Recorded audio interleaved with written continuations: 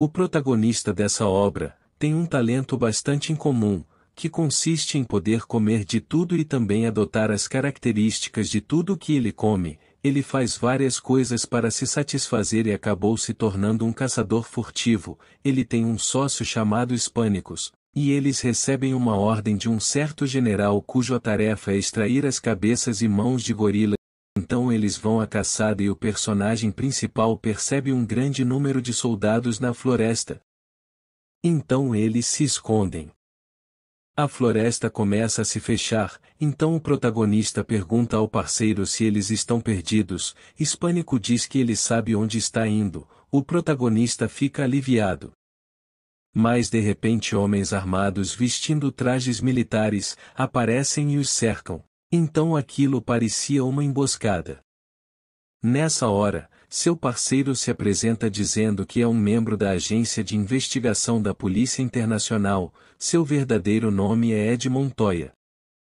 Ed chama o protagonista de Pet Shop, um apelido dado pela polícia. Ele comprava todos os tipos de espécie de animais raros e as comiam. Acusado por esse e vários outros crimes, ele é algemado e colocado na viatura. Eles estão seguindo por uma estrada de terra quando um soldado chama Ed e diz que tem duas luas no céu. Ed fica chocado quando vê. Coisas estranhas começam a acontecer e a viatura começa a se balançar era Kim se transformando, ele mata todos dentro da viatura e escapa. Então ele vê que realmente tem duas luas no céu, então ele logo imagina que ali com certeza não é o planeta Terra. De repente Kim se vê cercado por vários lobos, então ele se transforma em um tigre, mas percebe que não conseguiria vencer os lobos naquela forma, assim ele se transforma em um hipopótamo com dentes de tubarão, então consegue derrotar todos os lobos. Depois de sete dias, ele havia devorado um urso, uma cobra venenosa e um veado. Kim continua a explorar a floresta quando encontra um homem ainda vivo, preso nos chifres de um veado que passa correndo. O homem não resiste e vem a óbito. Como Kim tem a habilidade de assumir a forma e habilidades de tudo que ele consome, ele devora o homem e domina a língua local, Logo adiante ele encontra um livro com informações sobre os habitantes do local. Kim começa a fazer vários experimentos e pesquisas. Kim captura um Trolls para aprofundar suas pesquisas, porém ele percebe que os Trolls não podem ser abatidos com ferimentos pois eles se regeneram. O Troll foi capaz de se regenerar em um mês, mesmo com o cérebro esmagado. Fogo, ácido, veneno. O Troll é resistente a tudo isso, Enquanto isso um grupo de trolls identifica rastros de humano, então eles rastreiam Kim até a caverna de experimentos. Kim agradece por poupar de ter que caçá-los, então ele derrota todos os trolls. Com o avanço de todo aquele experimento ele descobre várias coisas. 1. Um, nenhuma habilidade funciona contra quem a possui. Exemplo. O veneno da cobra não pode ser usado na cobra. 2. Ele é imune à habilidade das criaturas daquele lugar. 3. As habilidades da terra funcionam nas criaturas dali. Em outras palavras, ele pode se tornar a criatura mais poderosa lá. Em outra parte da floresta vemos um slime, ele pode consumir qualquer criatura e adquirir suas habilidades, porém não pode adquirir a forma, ele era um ser humano que havia reencarnado naquele slime, uma serpente vai passando e ele absorve, então ele sente que a sua alma diminuiu, ele percebeu que a cada criatura que absorver, sua alma irá diminuir, então imaginando que poderia se tornar a criatura mais forte daquele lugar, ele não pensou duas vezes e começou a devorar outras criaturas. Segundo ele, depois veria o que fazer para recuperar sua alma que está diminuindo. Ele está se sentindo o herói ali. Então vemos um flashback do autor sobre a antiga vida do slime.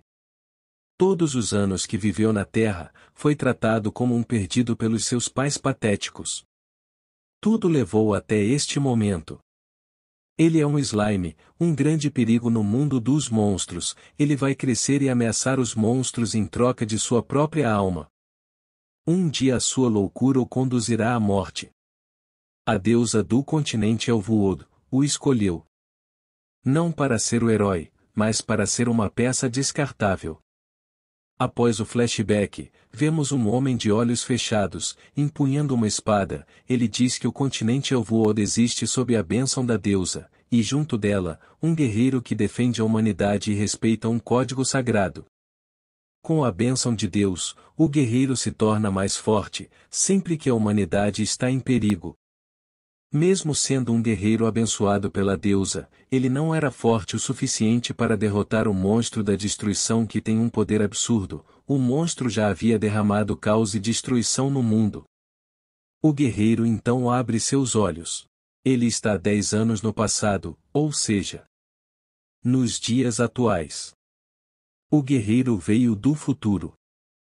Ele entende que recebeu uma segunda chance da deusa, então ele dessa vez precisa derrotar o monstro a qualquer custo. Essa seria a sua punição por ter mentido, ou por ter ido contra o código sagrado? Ele se pergunta. Mas se eu disser que vim do futuro, ninguém vai acreditar em mim. Pensa o guerreiro. Então aparece ali um ancião. Ele entoa a seguinte frase: um monstro vai nascer. Aquele que come as criaturas da grande floresta e absorve suas habilidades. O guerreiro então diz que está ali, para impedir a profecia. O ancião diz que, Trolls tem sumido há meses, pode ser o monstro atrás das suas habilidades. Voltando ao protagonista. No livro de monstros ele encontra uma raça de homens lagartos, estes são considerados humanos, porém devido às suas habilidades eles estão relatados no livro de monstros. Homens lagartos. São imunes a veneno, respiram debaixo da água, e nadam em alta velocidade. Então Kim vai até o pântano em busca de capturar um homem lagarto. Enquanto isso novamente nos é mostrado o slime, ele encontra a caverna onde o protagonista faz suas experiências, ao ver vários trolls mortos, ele começa a consumir todos. Nessa hora aparece o guerreiro que vimos anteriormente, o slime tentou atacar, mas o guerreiro o partiu ao meio com sua espada. Então usando uma magia sinistra ele dá um golpe absurdo no slime, Enquanto ele vai embora, o slime rastejando entra para dentro da caverna para se regenerar, já que consumiu os trolls e adquiriu essa habilidade.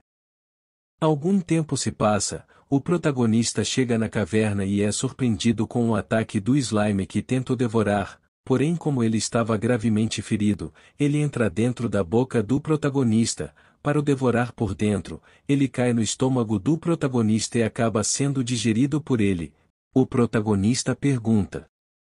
Você está curioso para saber como termina? É mentira! Ixi. Mas se inscreva no canal para receber a continuação, deixa o like e comenta para eu saber se trago a parte 2.